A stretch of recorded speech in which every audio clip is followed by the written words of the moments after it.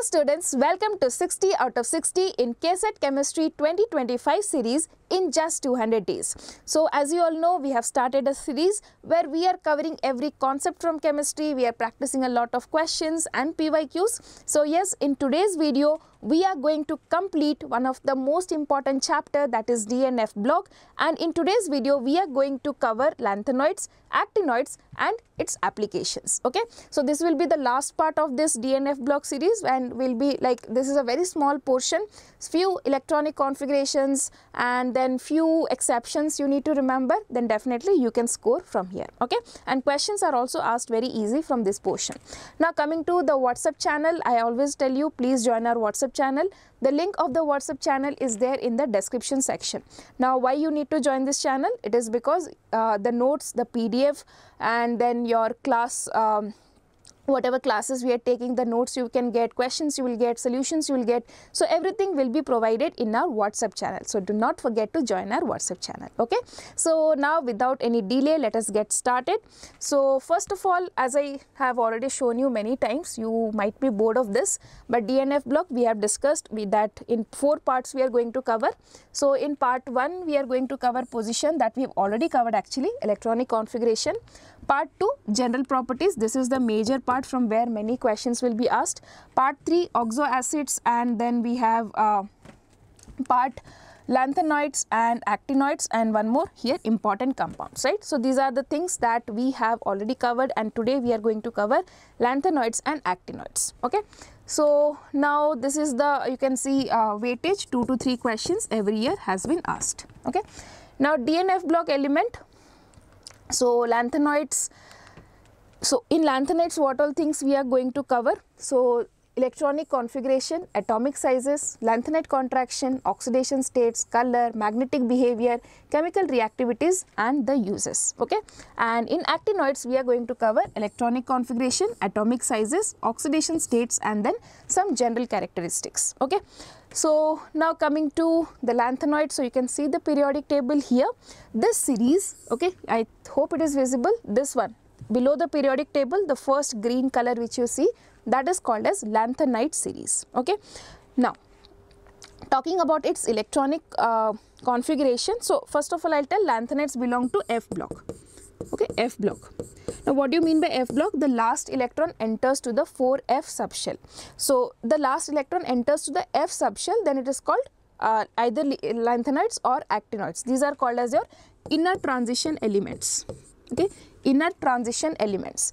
If the last electron enters to f orbital then it is called inner transition elements.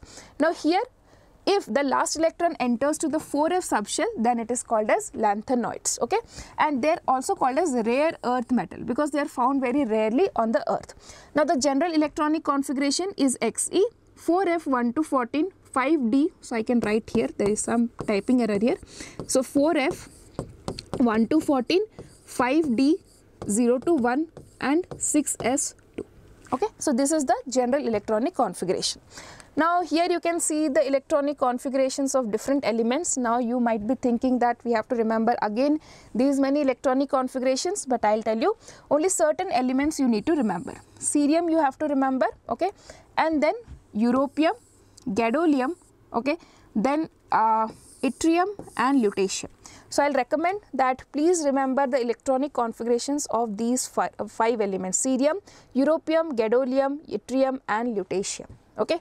Now coming to the atomic sizes. So along the period the atomic size decrease this is due to lanthanide contraction okay. So I hope I, I have already explained you lanthanide contraction this is the steady decrease in the size of the atoms uh, due to the poor shielding of 4f orbitals right. If you haven't watched you can watch my previous video where we have discussed lanthanide contraction in detail okay.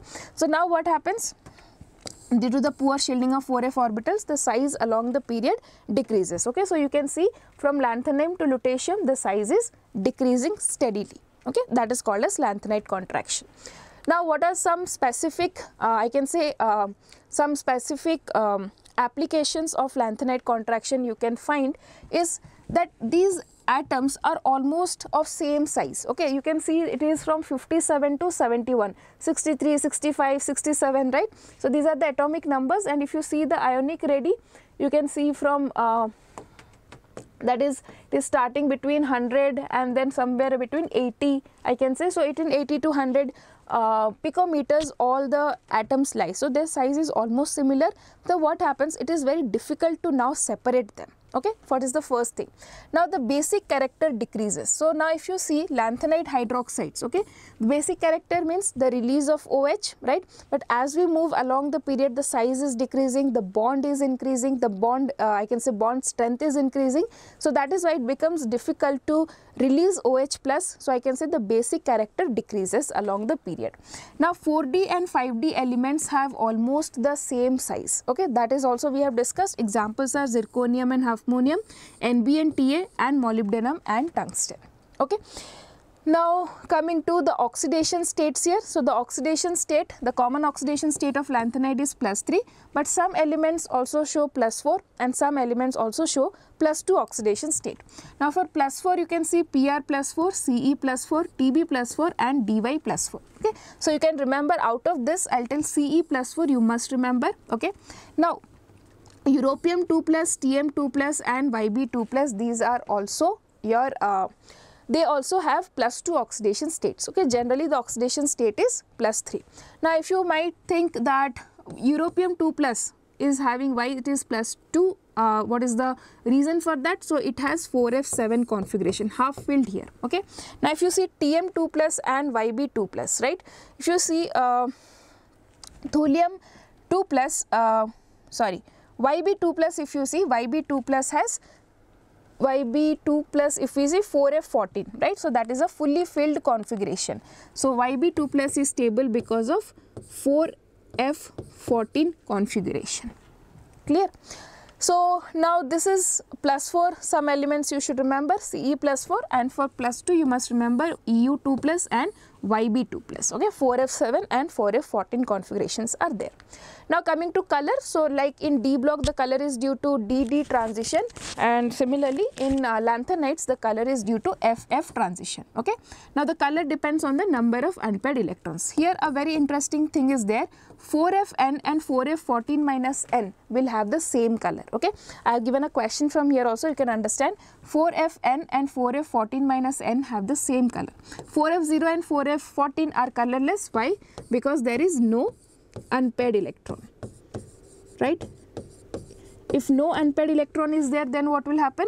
There will be no FF transition okay.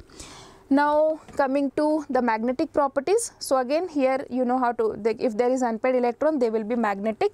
So Ce plus 4 and Yb2 plus are diamagnetic because there is no unpaired electron. Lat, uh, lanthanum and lutetium are also diamagnetic. Nd is the one with most paramagnetic material means it has the highest number of unpaired electrons. Highest number of unpaired electrons. Now other all elements in Ln plus 3 state they all are paramagnetic okay. So next coming to chemical reactivity. So that is the generally questions are not asked from here but we can see like suppose you see lanthanide it's very easy to see. So, sulfur oxidation state you know minus 2, lanthanum is plus 3. So, if they combine we will get Ln2S3. Now, with nitrogen you know lanthanum is plus 3, nitrogen is minus 3. So, we will get Ln Similarly, you can have for in oxygen lanthanum is plus 3, oxygen is minus 2, we will get Ln2O3. With acids it will release H plus. With halogens we will get LNX3 with water we can get because these oxides are uh, uh, what I can say because they form basic oxides so we will get lanthanum hydroxides with water with H2 okay. Now coming to the uses so this is very important misch metal. So misch metal is an alloy okay in this alloy it is generally used for making pipelines and all. Now in this the lanthanide contraction is uh, the lanthanide percentage is 95 percent Iron is another 5% and you can find some traces of sulfur, carbon, calcium and aluminium. Okay, so you must remember misch metal is made up of lanthanides and iron. Okay. Now coming to some questions we will solve. Identify the incorrect statement among the following. Lanthanide contraction is the accumulation of successive shrinkages, right? So along the period there is successively shrinkage of the atomic size. So that is what is lanthanide contraction. So this statement is correct. As a result of contraction, the properties of 4D and transition have no similarities with the 5D series of transition elements. So, okay, 4D, uh, they are saying 4D and 5D has no similarities because of lanthanide contraction, but that is incorrect, right? But let us see the other statements. Shielding power of 4D electrons is quite weak. Next, uh, there is a decrease in the radius of atoms or ions as one proceeds from lanthanum to lutetium, right? So, this statement is incorrect. So, as a result of lanthanide contraction, the properties of 4D series of transition elements have no similarities. The size almost becomes similar, right? So, there is some similarities. So, the incorrect statement is option number B. Okay, now coming to question number 2. Lanthanide contraction means, so small atomic size of lanthanide elements, small um, size of lanthanide ions, smaller ato atomic size of lanthanides as compared to transition elements in the same period, decrease in atomic and ionic radii of the elements of lanthanide series in moving from left to right. Okay. So, that is what decreases in the atomic size along the period, okay, that is what is called as lanthanide contraction. Now, which of the following element has maximum number of oxidation states? So, maximum number of oxidations shows by Nd because it has maximum number of unpaired electrons. Okay. Now, which pair of the compound shows same color? Okay.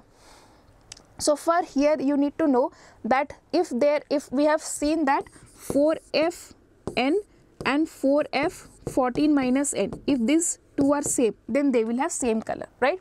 So, what are the different elements we have SM3 plus okay DY3 plus then uh, lanthanum 3 plus then I have PR3 plus okay and then we have uh, EU3 plus. Okay. So, now let us check these elements. So, first of all I will go to the electronic configuration page because we need okay. Now, if you see europium right where is europium europium 3 plus is 4f6 so i'll come i'll write here i will compare sm dy and europium okay so if you see First is SM3 plus. SM3 plus is 4F5. Okay. So, I can write it as 4F5. Now, if you see uh, next one dy3 plus. dy3 plus is 4F9. Okay. I think I got the answer here 4F9. Sorry. 4F9. Right. So, now you see this is suppose n then this is 14 minus n that is 14 minus 5 that is 9 right. So, Sm and dy will have same color right. So, now we can go back to our question and yes. So, the same color is Sm and dy correct answer is option number A. Okay. Now, coming to actinoids okay. So, this is as I told you this is your inner transition elements and the first one is called as lanthanide series and the second one is called as actinoid series. Okay? So now coming to actinoid series the last electron enters in the 5f subshell. Okay? And they are all radioactive. The general electronic configuration here is rn 5f 1 to 14 6d 0 to 1 7s2 okay? This one please do not check. There is some error here. So you can write down this one rn 5f1 to 14 6d0 to 1 and 7s2 okay.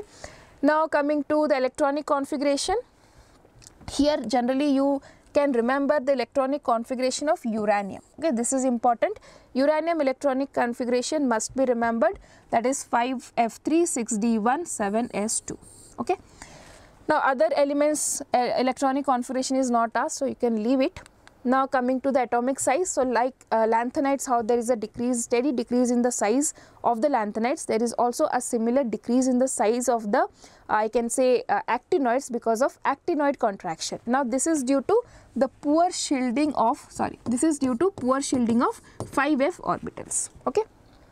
Now coming to the common oxidation state. So, the common oxidation state of actinoids is also plus 3.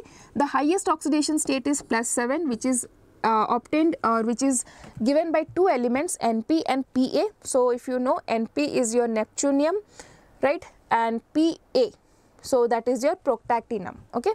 So, these two elements are there and plus 6 plus. So, now plus 7 is what it is the highest oxidation state but it is unstable okay. Now, if I stable but highest, stable highest oxidation state is nothing but uranium okay plus 6 state okay. Now coming to some question. So general electronic configuration is given to you. Which of the elements actinoids uh, have one electron in the 6d orbital? Okay so if you see 6d orbital one electron is present in uranium. So that is why i told you you must remember uranium electronic configuration 5f3 6d1 and 7s2 so there are three elements with one uh, 6d one electron in 6d that is actinium uranium proctatinum and neptunium okay so you can remember these four elements name so here answer is uranium and now let us do some practice questions that is your PYQs. So I'll tell you this is a very small chapter, uh, a very small section. So this was a homework question that gave that I gave you in my previous class of important compounds, right? So here I am asking you KMnO4 that is MnO4 2 minus is getting converted to MnO2 then Mn2O3 then Mn2 plus right? MnO4 um, KMnO4 minus okay MnO4 2 minus also. Okay so MnO4 minus gets converted to okay these are the thing. Now this is plus 7 okay so this is plus 6 this is plus 4 this is uh, plus 3 and this is plus 2 okay so now you see 7 to plus 6, how much charge will be there? We need 1 Faraday. So 1, so we can eliminate these two options. Now plus 4, 7 plus 7 to plus 4, we need 3. So we can eliminate this option also. Correct answer will be option number C. Okay. Now coming to the next question, which of the following oxidation states is common for all lanthanides? So the common oxidation state is plus 3. Okay. Next, which of the following statements is wrong? Okay, be very careful whether it is asking correct or incorrect statement regarding lanthanoids. So, Ln plus 3 compounds are predominantly ionic in character. Lanthanum hydroxides are mainly basic in nature. The ionic size of lanthanides decreases with the increasing atomic number and Ln3 plus compounds are generally colorless. So, you see we have studied that lanthanides also are very colorful compounds due to FF transition, right. So, the correct answer for this question will be option number D. Okay. Next, the electronic configuration of GD2 plus is. So, gadolinium electronic configuration we need to check. Okay, so we have to go little back here, gadolinium 2 plus. I told you to remember gadolinium 2 plus configuration is 4F7 5D1. Okay. So now if you see, we'll go fast 4F7 5D1. So that is your 4F7 5D1. Correct answer is option number B. Okay. Now which of the following is an amphoteric oxide? So V2O5 and Cr2O3. So this I have covered in my previous class. If you haven't known, you can see that. Next, uh, the element which follows the lanthanoids in the sixth period. So after lanthanoids, there is the element hafnium, right? So, the correct answer here is option number A. Okay. Now, this is a question for you that you have to practice which of the following lanthanide ions are paramagnetic in nature. Okay. So, these are the elements some. So, please check like which type of elements are given in the options. Make sure to remember their electronic configurations. Okay. So, Thank you. So we have completed finally D and F block. I know this is one of the most boring chapter I feel personally. But yes, I have tried to cover it in simplified form so that you do not feel very hectic or you need not read book so much times. So I have tried as much as possible. So yes, now we are going to start the next chapter that is coordination chemistry in our next class. So I hope all of you are enjoying this lecture, all of you are attending the classes and all of you are preparing really, really hard for your KCET examination. Okay. Please remember this is the time where you have to start the preparation. Okay. Otherwise, we will not end up in hitting that perfect 60 score right. So, yes all the very best to all of you and please keep studying, keep smiling, stay healthy. See you soon in the next episode. Do not forget to subscribe the channel and join our WhatsApp channel. Okay.